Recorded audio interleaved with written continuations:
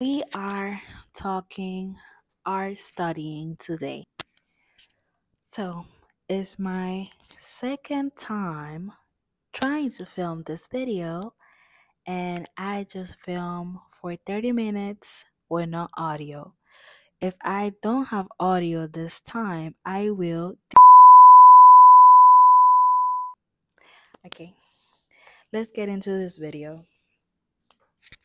So, I'm gonna talk a little bit about art studying and my journey of learning how to study art. And I'm not talking about it in a way of like having a whole art course for yourself or like you're going to college and studying art school again, anything like that. I'm talking about like like me, you have a 9 to 5 and you make art on the side and you're trying to find yourself and your art style and you're trying to learn and improve your skills and on your free time while also trying to have fun because art studying can be a little bit boring.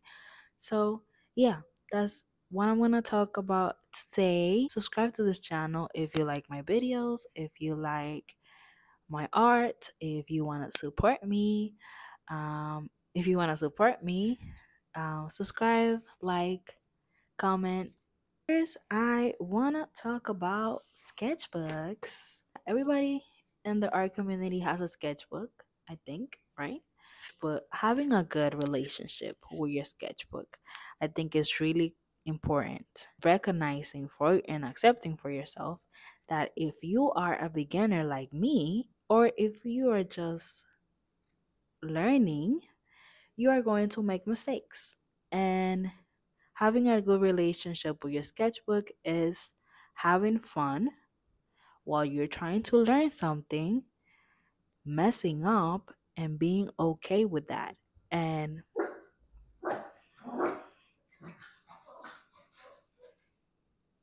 having a good balance of like yes you want to make good stuff that you like but you also want to be silly sometimes and you want to make mistakes and be okay with that. So having a good relationship with your sketchbook is really important when you are trying to study and better yourself. Something that i started to do recently is i have a second sketchbook and the reason why I have this second sketchbook is because there are certain things that for me are a little bit outside of my comfort zone that I still would like to learn, like portraits and drawing people accurately. And I am not really good at it, but I'm a little bit intimidated. Having a second sketchbook that I dedicate specifically for studying people, sketching people, and portraits has been really helpful because I know that when I grab the sketchbook, I am gonna do things, new things that are out of my comfort out of my comfort zone and that I am gonna mess up and I'm gonna learn and I think it's a really good way to like have a dedicated book where you're gonna see your journey on this specific thing that you want to learn on and you're gonna see it from beginning to end. Like when I finish this sketchbook, I'm gonna see the very beginning of the first face of the first portrait that I ever that I ever try to do to the last one. And I think that's really cool. So I really recommend having a second sketchbook, a dedicated sketchbook for whatever you feel like is outside of your comfort zone that you would not otherwise do on your regular sketchbook. I am gonna talk about some books that I use to learn, to gain inspiration, to be inspired by other people's work. And I have this book that I picked up from a bookstore a few months ago. And this is just a pretty basic beginner book on how to draw. And I think it's really helpful to start from basic things like this. It's step by step guides. It has pages where it encourages you to practice on your own whatever subjects you like. You don't have to follow it from like the first to the last. You can go to whatever chapter you want to learn on. I haven't gone through much of it, but I have done some of it and some of the exercises that having just a basic basic book that talk about the most basic drawing techniques is really helpful. I have this other book that is basically all about impressionism and it highlights a lot of big artists back on the 1860s and 1900s. It's a really good one because it has a lot of var- variety and you can see all the different artists from different times and different styles and something that I've done with this book is I do a study on an art piece that is here. And I'll, I'll you can read on their technique. This other book that I have, this is um photography book and I really like this one because it has is very unique. The colors are the color palette is really nice and it highlights a lot of like still life in a unique way. I think this is a really good book to again see something different and explore your style. I have this coloring book and I wanted to mention it because I think that um, studying art can feel like a lot of pressure and can be a little bit stressful. I think it's really necessary to have fun with your art, have fun avenues to explore art. So I have this coloring book and it's filled by doodles and I have done some of it and I think it's really fun. I think it's just like a really fun, simple way to be inspired. If you don't want to make your own art and you want to do some doodles and you want to color, it's a really nice way to get inspired by simple things like this. It's a way to not take art seriously, so serious all the time, and you're still learning, you're still nurturing that, and you're still learning, you're still nurturing that inner artist in you. I want to show you some of the apps that I use to find inspiration.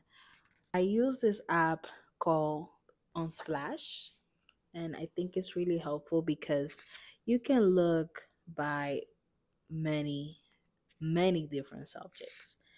I've I use this app so many times whenever I don't know what to draw, and all the images are free. So I think this is a really good one. There's this other app called Pexels, which is also kind of like same thing, free pictures, free images of whatever you like that you can use to study, get inspired. This other app that I recently found is called Head Model. And this one's pretty cool if you like if like me, you are trying to learn about portraiture and drawing people and drawing fate and learning how to draw face structures more clearly and accurately I think this is a really cool way to learn because it has so much variety. Last two things that I want to mention, honorable mention, I just needed to mention the artist way um, is a good foundation to everything. Um, I think that when you're trying to learn something new and as an artist, there there can be a lot of self criticism there's you know the little voice in your head that tells you like nothing that you draw is good enough the artist way helps you a lot in that and it helps you take action which if you struggle with perfectionism a lot of times perfectionism keeps you from doing the things that you're that you want to do and from being the best version of artist of your artist self that you want to be and that you can be so i think doing the artist way is a really good way to just like it's a good way to process how you feel about your art, about yourself, what you actually believe about yourself. I think you're gonna learn. I learned so much about myself when I did, when I went through this book, and it helped me so much with navigating that critical mindset that that I tend to have. So I highly, highly recommend the artist way. And I think this is the foundation of everything because it's all in your head, it's all here. So I highly recommend the artist way. And along with the artist way, I have to mention journaling. I know that now I know that this might sound like this is not part of art studying, you have to really touch with what's going on within and process how you feel about yourself and about your art. Journaling it not only helps me to deal with that self-criticism it also helps me like also helps me like to document my art journey and to see how far you come. Because sometimes you can be like oh i'm not learning as much as i thought but if you're journaling and going through this process you can reflect back and see how far you've come and that's what journaling has done for me. You cannot be your best creative self when you're stressed and have a million things in your head. So I think just like having a place to reflect where it's just you, no judgment, and you can reflect on your journey and how you're doing on your art journey is really, really helpful. That's all I had for this video. I hope that you enjoy watching and I hope that you enjoyed hearing me talk a little bit about my art journey, how I am studying art. I hope that you enjoy watching. Thank you so much for watching. If you made it through the end of the video, forget to subscribe and I'll see you in the next video. Bye.